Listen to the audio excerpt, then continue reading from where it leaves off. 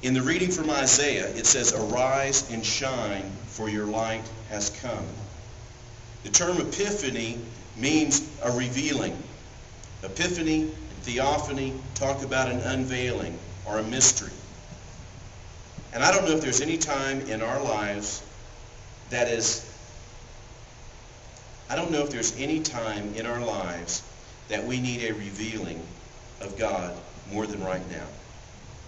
But what I'm saying to you today is that arise and shine, for your light has come. It doesn't say arise and shine because your light is going to come. It says arise and shine, for your light has come. Isaiah 60, it also says that then you shall see and become radiant, and your heart shall swell with joy, because of the abundance, because the abundance of the sea shall be turned to you, and the wealth of the Gentiles shall come to you. What happens, my friends, is that the revealing power of the Lord Jesus Christ has come to us. It's not a mistake that you are here listening to this right now. It's not a mistake that we are gathered here this day listening to this word. Because our future seems dark, our future seems dismal if you're looking at it through natural eyes.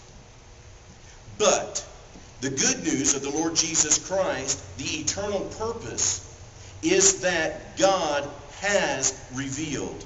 God has sent his Son. The light has come. In fact, the Ephesians reading says this.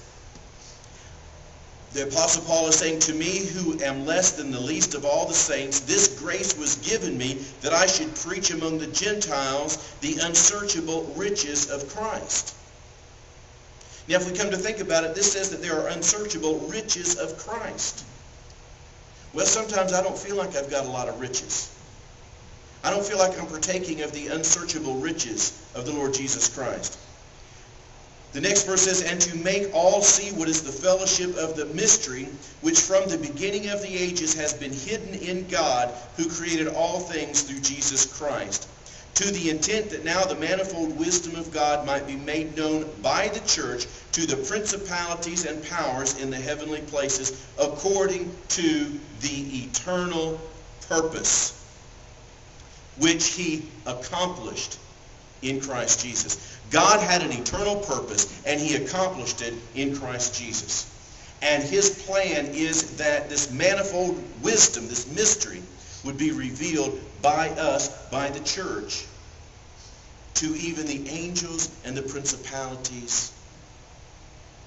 But all too often our practical experience is we think the angels know more about what's going on than we do.